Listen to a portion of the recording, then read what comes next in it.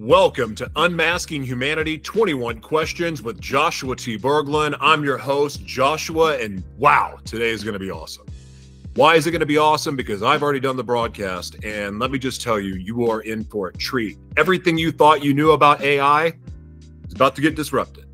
Well, maybe not all of it, but a lot of assumptions or a lot of things that maybe you thought um, are going to be altered. The perception that even the perceptions that I've had, and I like to, I don't call myself an AI expert, but I'm pretty well versed in it. I learned so much from this broadcast. I learned so much about this broadcast, not just about AI or generative AI, the future of education, working with governments, infrastructure, so much more. Uh, ladies and gentlemen, we have Dev Adidia here today, and I may have butchered that last name a little bit, but let me read you a little bit about him because he's the real deal. I mean, the real deal. And I'm floored by this interview. Um, I've never been so inspired for the future as I am now because of this interview. So, here, anyway, Dev is an expert in generative AI from London, UK. He led the team that built the first digital human AI teacher with the mission to upskill 750 million underserved students globally by 2030. Dev was awarded by the UK Prime Minister for his work and has been a young global innovator and under 30 social entrepreneur. For research work in AI, he was recognized by Innovate UK and sec- secured 250,000 in funding just in 2022. He is an AI expert with research expertise at the Alan Turing Institute in Brunel University, London. And his work currently is operating in 13 countries. It's actually 15 countries now. During the interview, he corrects me, but this is special. Dev is awesome. He's great to talk to, um, answers every question very thoroughly, and it's all interesting. Like, there's not a single answer that's not interesting and from the heart, and it's so informative. Uh, so thank you for being here. I mean, honestly, you may thank me for you being here after this interview, and I don't say that to do anything with me. It's our guest. Dev is incredible. You're in for a treat. Thank you for being here on the World's Mayor Experience platform that you can find at www.joshuatberglan.com. Ladies and gentlemen, please welcome Dev to Unmasking Humanity 21 Questions with Joshua T. Berglan.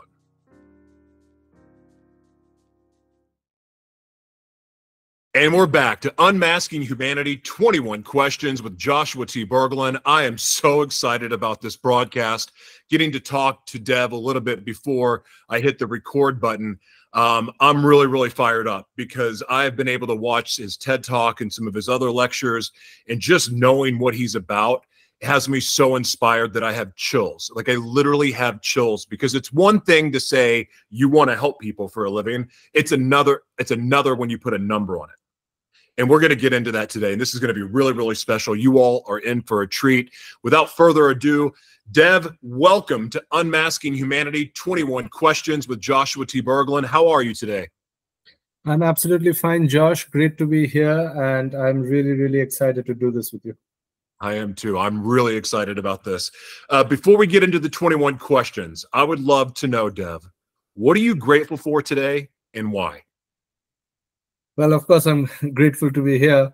But I think uh, one thing I want to really put out there is as all startups do, as all organizations do, we sometimes get into positions where we have to go through the hardships to get you know in front of the line and we are going through that at the moment. And i'm really really grateful to have the team that i have that they are persevering through this. And i know this is what is going to lead to us hitting all of the goals that we have set together. I, that's great gratitude. That's fantastic. All right. You ready for your 21 questions? Absolutely. All right let's do this. Question one. Can you tell us a little bit about your background and how you became interested in generative ai yeah, that's an interesting question. If you just ask me that in one line, I think it's uh, rather funny. My original background is in law, but. I, yeah, exactly. Uh, but, I, got into AI simply because of this. Um, I decided not to pursue law after my university, uh, as many people do, and I actually wanted to get into education. And this happened because I was traveling across uh, South Asia with my co-founder. We were teaching marginalized school children, and we found there was a gap. And uh, this led us to actually creating Otermans Institute, as it was the company in 2020. And we started upskilling a lot of mar marginalized learners, about 30,000 in the first year, year and a half. While doing this, we faced another problem. And the problem was we could not find enough teachers. And mind you, at that time, we were also in lockdown situation. So to solve this, uh, we thought, you know, teachers are intelligent. What's the closest we can get to mimicking intelligence? So to solve this, we thought, let's experiment with AI. So I have been hands-on with AI since then. Today, I'm a subject matter expert. I write in the field, I publish in the field, but that's essentially how I got in there. It's not something I planned to do uh, when I was a child. It was something out of necessity, and now it's probably the uh, thing that I'll be doing for the rest of my life. Yeah, because what you're doing is endless. The possibilities and the the the souls, the lives to pour into with what you're doing is incredible. Like I I'm I'm glad that you already touched into part of the reason why I'm so excited to have you here. That's a great answer. Thank you. Question two. Yep. Hmm. What inspired you to lead the team that built the first digital human AI teacher? So, yeah, as you said, I touched upon it. It was actually a necessity we had. But uh, for this question, I'll elaborate on this a little bit more what we found in our journey so in our first year year and a half already we were in about 9 and then 13 countries uh, we were obviously servicing university and college students but we were also servicing some of the most marginalized students in the world uh, we by mistake mind you became the first digital education providers of college level in afghanistan six months before everything fell apart uh, we've taught in malawi we've taught in uh, you know refugee camps in iraq etc and the thing we found was, I think most people are focusing on the content. So uh, you're creating videos and text, etc. But content alone cannot solve the world's uh, education and literacy problem. It cannot, you know, bridge the skills gap that we have. You need that teacher. You need that mentor. Just think about uh, first-time learners, for instance. How are they going to make sense of content that you give to them? Otherwise, YouTube would have solved the problem. Free books would have solved the problem.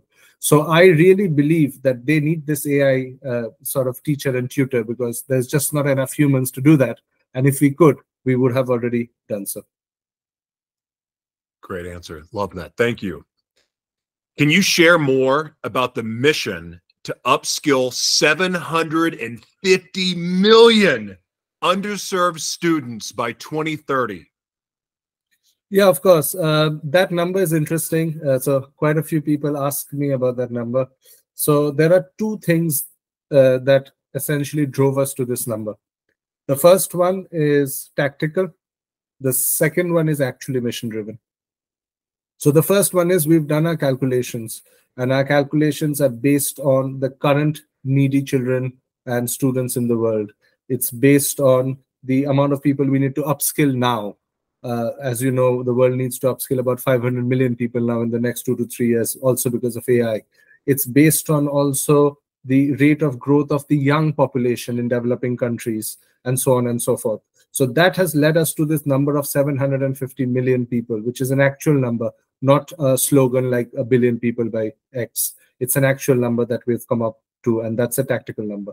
But this leads to our vision and mission because we also believe that that 750 million number with the target audience that we have predominantly about 500 million who are sort of gen alphas at the moment if we hit that number that's actually the tipping point that's when we will become the go-to solution for the world and then we further grow and continue to grow into the billion mark so that's essentially why we target this and it is absolutely almost uh, you know with religious dedication that we are trying to reach that target by 2030. I'm confident that you're going to accomplish it. Thank you. How did it feel to be awarded by the UK Prime Minister for your work in AI? It, it felt great. Um, it was a sort of surprise. Uh, I still remember got the letter in January of uh, 2021. So that was really exciting. It was great to be, you know, appreciated. Uh, whoever nominated me, thank you. Uh, but uh, I, I, think more than myself, a lot of other people have been excited by it, including at that time my landlord. He came and saw the letter and he was like, yeah. so that that was funny. Um, but I'm really I'm really really thankful for it, and I think more than uh, you know personally being excited by it, I think its most value is it has helped open doors for me, and that really matters because when you're on such a mission, uh, the more doors that open faster, the more you are able to you know press the gas. Perfect answer that translates into so many other industries as well. I mean, even thinking about being a best-selling author, like, did it really change my life? No, but you know what? It opens doors. So, like, can't be too mad about it. Even though I don't really feel the sense of pride about it that I thought I would. Like, mm-hmm. I thought I would wear a T-shirt that said I'm a best-selling author everywhere, and I'm like, as soon as it happened, I'm like, oh, okay, that's it. Next question. Um, let's see here. Okay. How does being a young global innovator under, oh, I'm sorry. How does being a young global innovator and under 30 social entrepreneur mean to you? Um, I think a little bit of what you said. Once it happens, it happens, right? I'm 32 now. So it, it's a little bit in my past. Again, it opens doors for me.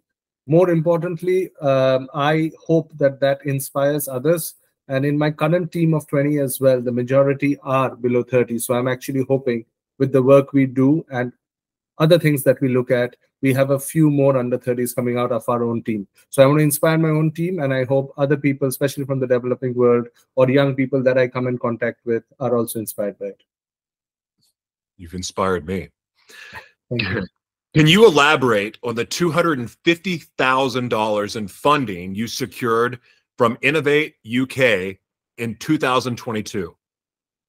So at that time, it was something majestic. Uh, we were, you know, absolutely bootstrapped. It was everything. Uh, we were funding ourselves. Our pre previous sort of business structure also was not uh, generating that much cash.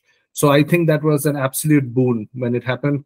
That was one of the factors that helped propel us, specifically from an AI development standpoint, because it was a budget to develop AI models I'm extremely, extremely thankful for that. Where we are today, uh, it, it might seem like a drop in the ocean because obviously the needs and the expectations now are higher. But it's one of those uh, steps in the, you know, right at the beginning of your journey that you tend to remember for years and decades to come. And that's something I will probably remember for a very long time. Perfect. Thank you. What kind of research did you conduct at the Alan Turing Institute in Brunel University, London? Yeah, so this is an interesting story. Um, so I actually, as I said, I got into AI out of necessity, and then I learned hands-on, and um, I started, you know, also entering the research community. After that, I got into a PhD in AI, not because it had to uh, help me in my career, but because I thought a lot of the work I do is product oriented. I need to be able to also hone my deepness skills, what I call, which is research makes you think deep, not just flat. So in that journey, I went on to Brunel. I became probably the youngest uh, of the uh, enrichment schemes of Alan Turing Institute because they normally give it for senior level researchers or senior level PhDs. I got it in my first year. So that was exciting. I and in terms of the research focus, what I focused on at that time was to build a real-time translator in sign language, particularly in British Sign Language. What that means is, uh, with that, you can literally stick in an avatar, and whilst we are talking, that avatar is signing.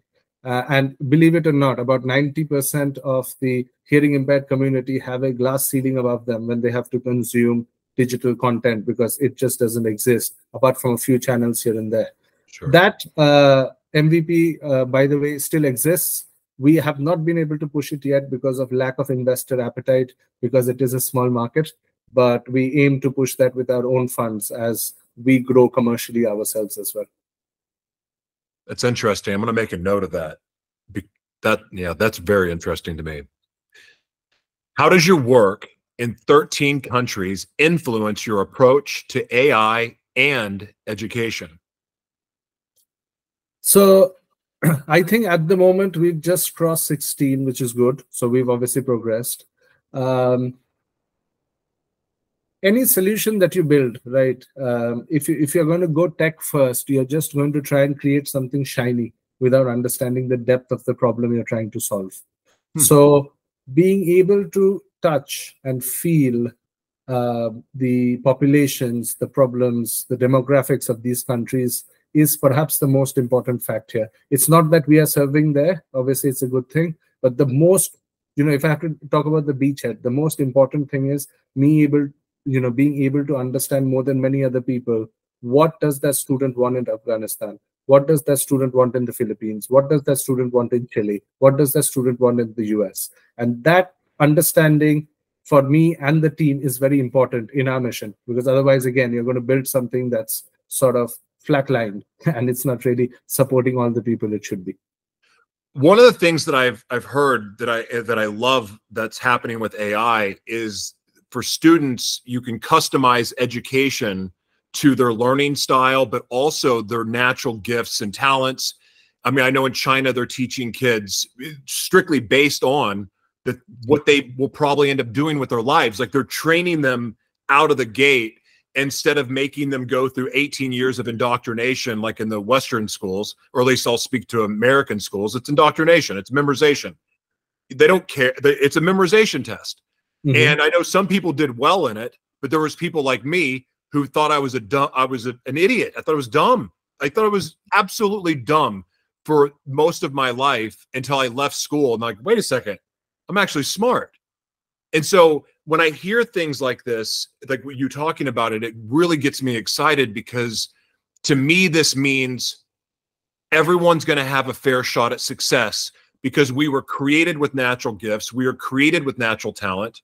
And then, mm-hmm. of course, we have our intellectual property of our life experiences. But being able to tap in that early means instead of having my heart broken and my dreams crushed as a child, now I get to step into my dream. I get to step into my greatness. I get to step into my talent, and I'm going to get the training and the teaching that's required to get me there much sooner. How how far off am I?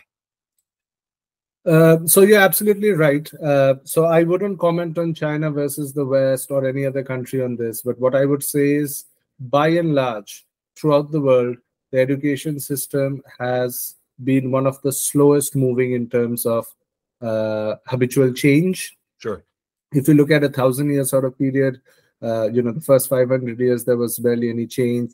Then there was some change. Then you had the printing press you know you had the sort of religious based universities first coming. And then modern education as we know it is you know from post world war right? So mm. forget about post world war but even in the last 50 years it hasn't really changed. And when we're talking about the mooc platforms etc it's taken the same system just digitized it by hmm. you know the courseras of the world. So we are at the cusp of change. Uh, theoretically what i see this cusp of change it's not even about ai the real change here is this. We had traditional teaching which was very limited access with some sort of interactivity. What i mean by that is you had to get into school you had to travel there you had to be able to pay for it. When you got there if your teacher was good you had good interactive learning. If not bad luck.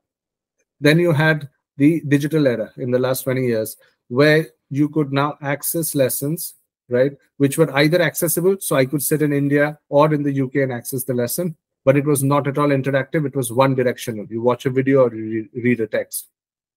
COVID came, we had a little bit of a bump there where I could now do Zoom lessons sitting in India or in the UK. Interactive, yes, but again, not really accessible because it's in that hour, in that day that I'm coming. With AI, generative AI, for the first time today, we can have both interactivity and accessibility in abundance, right? So that's the change. And this can happen at a hyper personalized level. It, that teacher knows you more than any human teacher will know you as long as you've just learned with it for a year because it's with you all the time. It's asking you questions all the time.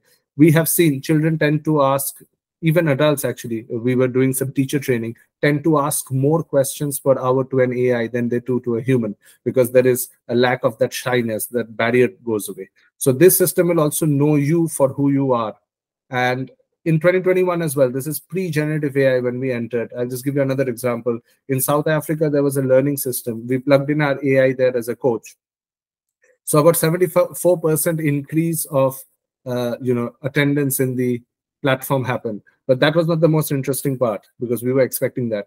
What we didn't expect was 75% people said that they now knew what to learn next on the platform just because the AI was guiding them, right? So these sort of things are going to absolutely change and shape the world. But I'll also be a pragmatist here because I'm always an optimist. That's my job. That's what I need to do. It will also create some issues because the way we operate in the learning space is going to be almost, you know, the majority of it is going to be screen time dominated. There are mm. certain problems with that as well. So we need to have checks and balances. But change is coming finally. And I think that's exciting for the world. Yeah, I love it because I part of why I'm excited about this is that the underserved communities are going to have an equal shot at success as everyone else, in my mm-hmm. opinion, especially yep. when the infrastructure is built out globally the way it needs to be. Great answer. Thank you for that.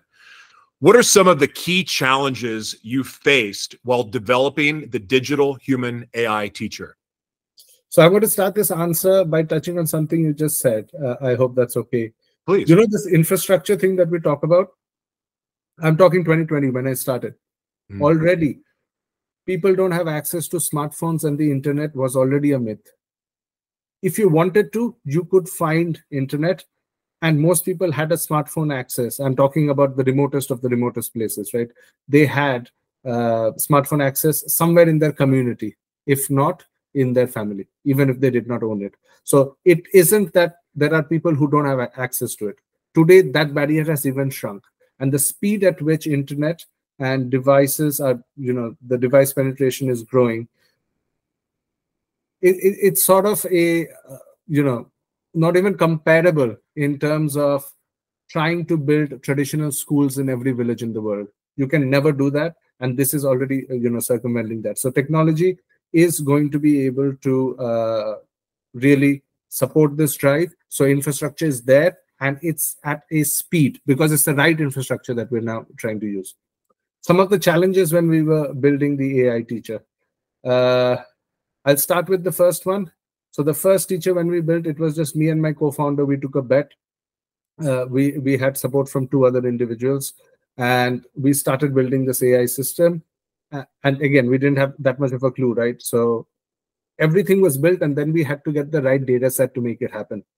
We we didn't have hugging face then. So where do we get data sets from? So i still remember me and my co-founder writing about 13000 lines of question and answers in excel and then giving it to the coders so they could make it into json to do that. So i think that essentially shows uh, what started it. And i think every week we face challenges and that's just how a startup rolls right? It's uh, you are extremely happy today. You've just had a contract with somebody like uh, let's say uh, the world bank or whatever and just tomorrow you've got a cyber attack or you've got something that's going on. So it's always an up and a down sort of a journey. But those who enjoy it really enjoy that sort of journey yeah i'm all for it i'm on one of those myself so i, I everything you say about that i'm like yep i, I can relate i can relate um how do you measure the success of the digital human ai teacher in upskilling upskilling students? So we are a research-driven organization. So a little bit of a background as well. Apart from law, I am an AI expert. I understand AI architecture extremely well. My co-founder is a neuroscientist and a psychologist. So I, I, think that sort of is already beginning. You know, you can see where this answer is going.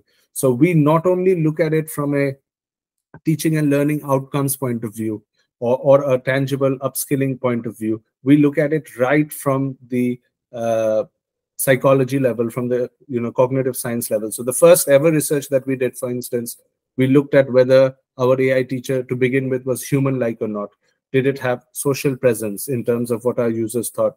Uh, was it competent in terms of the perseverance of the people that were looking at it? Did they find her warm etc so we look at a lot of what we call hci research human computer interaction research. We of course look at teaching and learning outcomes as well. Um, and uh, there are a lot of other metrics that we look at. But the bottom line is we are a research driven organization. Uh, i still remember an investor calling us once you're just a research lab you're not commercial, which we are now. Uh, glad to have proven them wrong. But we are always research first. And that, I think, is one of our strengths in uh, really trying to solve the problem rather than trying to sell something. I love that. Solutions, providing solutions. Perfect. What are the future goals for the OIAI project and other AI initiatives? See, OIAI is a flagship, right? So yeah. I, will just tell you a little bit about it. Um, we have our own fine-tuned 7 billion parameter model. Uh, so we are heavily research-driven on this. It's extremely important. We do not use the GPTs of the world. We want to give privacy of data. We want to control our own data. So there are tons of things that we are doing. But at a technical level, if I want to speak about, we are actually trying to follow a reverse pathway. So in terms of our products running on our own model, the first model was around 13 billion parameters. Today, our model is 7 billion parameters. By this year, it will reach about 1.5 billion parameters. We are not losing efficacy, and in certain areas, our performance is improving. You see, it's a reverse sort of technique than what other peoples are doing, which is purely on scale if we can do that, it's also important. It's just not that we want to prove a point scientifically, right? We are also doing this because there is another thing that is very important. If you're just looking at ChatGPT, right? You're paying 20 bucks a month just to chat with something. It's a very expensive solution. And if you're giving AI solutions out there, most AI solutions right now, because where they are in the technology curve, is still expensive. We are trying to break that barrier because, again, one of our core focus is to help the marginalized. We need to be able to break that barrier. The second thing is that will allow us to be edge AI oriented. So now we can run most of that model on somebody's phone. So if you are in a uh, sort of town for a day, you've had your updates on your phone. Now you go back to your village, it will still learn and it will still run for you because now it doesn't need internet for even if it's for just 10 lessons because otherwise you would have always had to look for internet so these sort of solutions are coming from these technical developments that we are doing and we are hoping for that uh, alpha launch of the edge version of our you know code teacher by november of this year i'm i'm speechless that is amazing oh my god I have like 500 other questions now, but this is 21 questions, not 500. Okay. Yeah. How do you see the role of AI evolving in the education sector over the next decade? See, my answer to this is AI is a new system of uh, operation, right? Um, it's not that AI is new. We've had AI from the 1950s. Um, everything that you've been doing from your social media to how you're targeted to your autofill uh, on your phones, everything's AI. Autofill is, you know, an earlier version of generative AI because generative AI in itself is actually a prediction machine. It's predicting the next word or the next letter. So AI is not new but AI is a system change. What I mean by that is we finally had that tipping point in AI where now AI is for the layperson. The last time I checked the data, one in six people in the world have used GPT at least once. you see how fast that is? We're talking about less than half a decade. So that's the pace of uh, AI entrance. It's just generative AI that I'm talking about, but AI as a whole. And because we've had both the layman experience of AI and the maturity of the technologies, now all systems are going to be run by AI. So uh, a very good way. Uh, I heard this from somebody else, so it's not my quote, but I'll just reword it and say it. What's the difference here? Previously, we used to write code, right? Mm-hmm. And we used to write code to create something where, as a human being, when I was a user, I went in, I could expect to have one of X outputs. So if I did this, this would come. With AI now, I can expect it expect to have one of n outputs. There is no sort of end to these outputs. Uh, so that's one. Like another product that we have, which is Teddy AI. It's in a very alpha state. In Teddy AI, what we have is a teddy bear that teaches children. But normally, a game has a hundred or a thousand things that it does, right? In Teddy AI, it is unlimited. So one child can be talking about ice creams, one can be talking about butterflies one can be talking about football at the same time. It's unlimited. It's like talking to somebody else. So yeah. that's the main sort of power of ai and how it's going to change everything. And from a technical standpoint also why is it different? As an engineer, when we sort of uh, built in the pre-era any product, what we would do it, we would have a sort of output already planned out. We would write some lines of code, and then we would optimize to get that output that we planned, right?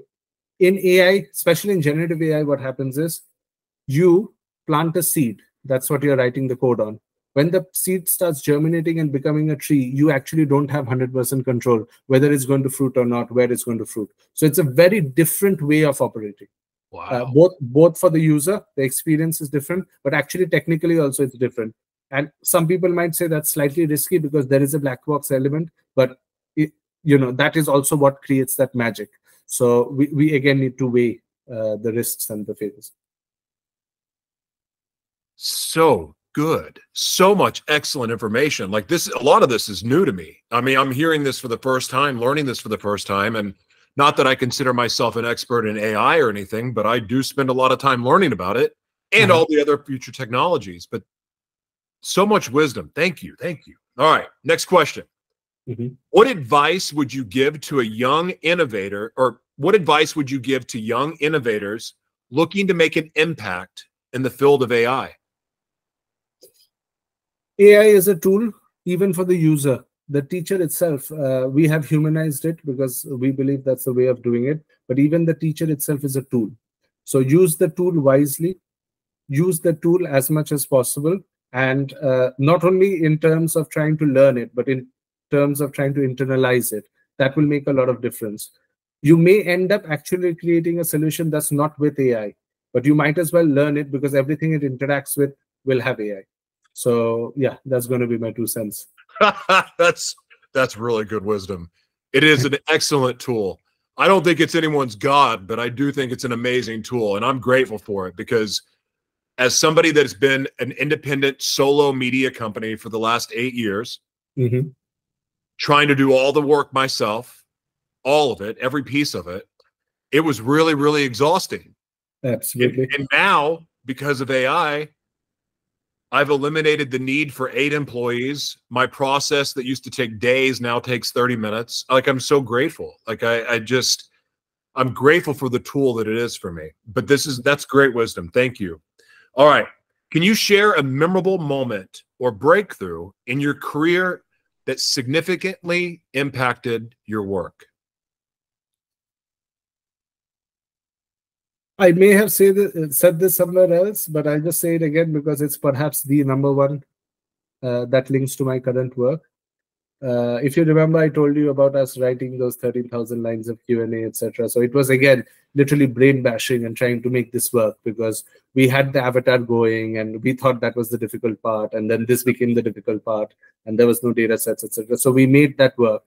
And after that, uh, you know, for that refined version, the first batch of students were about eight students in a refugee camp in Iraq, run by UNHCR and BCF.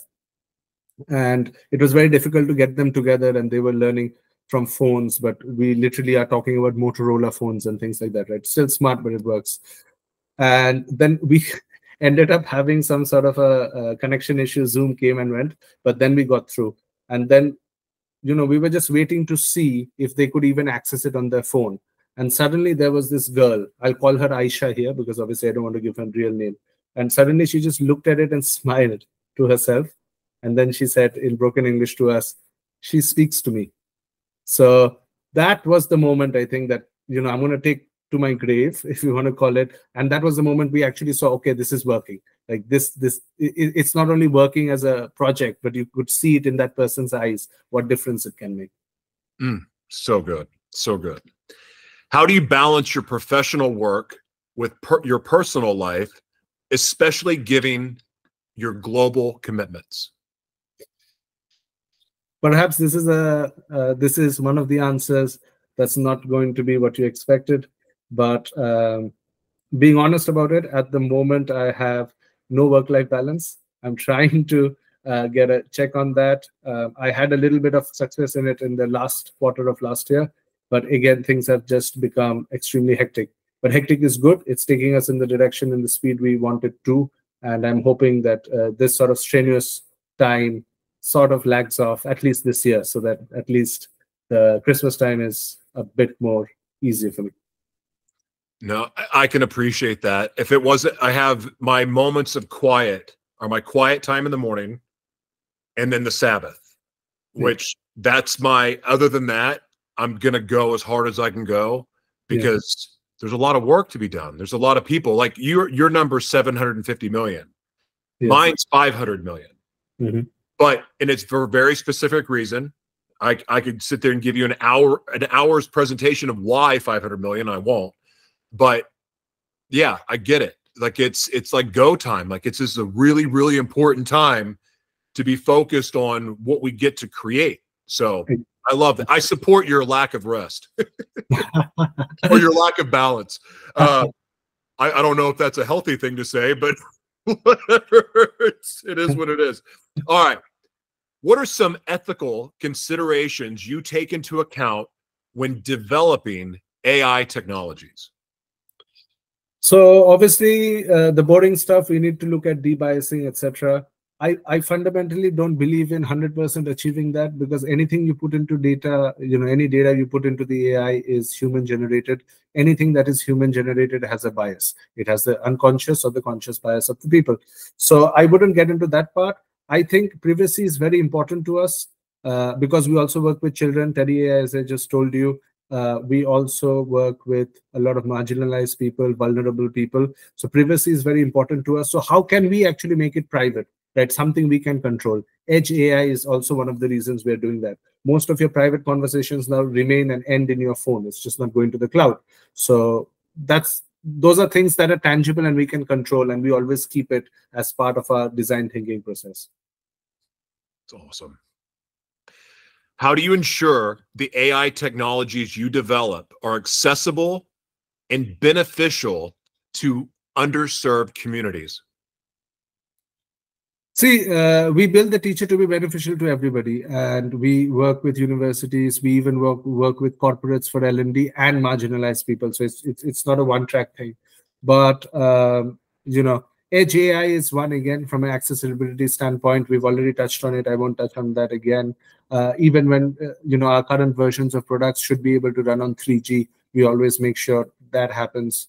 Um, and also, I think everything that we do uh, in the initial phases of our product development and research comes from the bottom up. So we do a lot of human-centered, uh, you know, user engagement, etc., to really understand what do they want.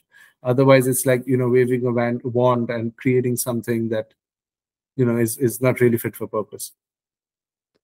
It's an excellent answer. All right. What role do you think government and policy play in the advancement of AI in education? Ooh, um, I don't think the government was catching up enough. I think they're trying now. Uh, I'm talking at a global scale. Certain countries are doing more, certain countries are doing less. I don't think it's a matter of AI from a government standpoint in this question's context. Uh, I think in this question's context, it is what can the government now do to really reduce the world's education, literacy, and skills gap? And do they find AI to be the tool? If they find that, because they have a lot of clever people there, if they find that is the case, then I think what they need to do is double down on it not sit there and debate it for another two years on what's the best way of doing that. If they don't find it to be the best possible way, fair enough. But if they think there is value in it, please go ahead and start, you know, pressing the pedal because otherwise, again, we're just going to lose valuable time. And I'll just give you one example. Uh, this may not be this year's data, but certainly two years ago, every single month, 1 million people turned 18 in India. So that means that's the sheer volume of people who are leaving school age and getting into some sort of working age every single month just in India. So if you're going to take six months to debate when you already know that there is high potential for a technology to help these people, I think you should do it. Amazing. Good answer. How important is collaboration with other researchers and institutions in your work? collaboration is important. I, will give you a very candid answer here, right? I'll go a little bit deep. So collaboration is very important here. I think some of the biggest breakthroughs have happened because people have been willing to share their research. Researchers and scientists always do that. That's uh, one of the hats I wear and my co-founder wears. Uh, companies don't do that. We've been doing it till now. OpenAI, etc., did it, and if you know now they have stopped publishing. Google has stopped publishing. I think that's going to be a problem. Um, but there are also reasons for that because also as technology matures, you also have friction between superpowers and countries. That's one of the reasons why uh, they may be stopping to do that. But I think collaboration as a whole has more to offer to society. And I think the entire open source movement, Llama 3.1 just came out from Meta, which is open source. Uh, yeah. They've given that out free to the world, right? And it's just beating uh, GPT and Claude 3. For those of you who are sort of geeky in this space, it's beating them, these two models, in a lot of performance areas. I so, switched. exactly. See, yeah, so and, and that's the value. That's the value that this can give. But there are, of course, risks. We have to be very, very open about that because you switched, I switched, somebody naughty may have also switched. So. it's awesome. I'll, I'll save it. Okay. Can you talk about any partnerships or collaborations that have been particularly impactful in your projects?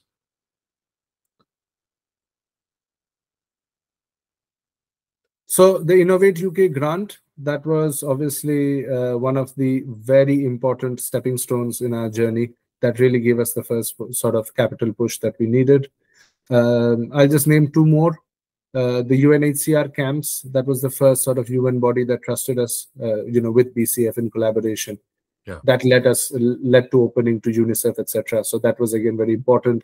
We've also been supported by a accelerator called Dohe, uh, who you know give a lot of support for free. There is no equity, there is nothing involved. Really appreciate their work as well, and they are really dedicated in spearheading edtech solutions again to make the world a better place.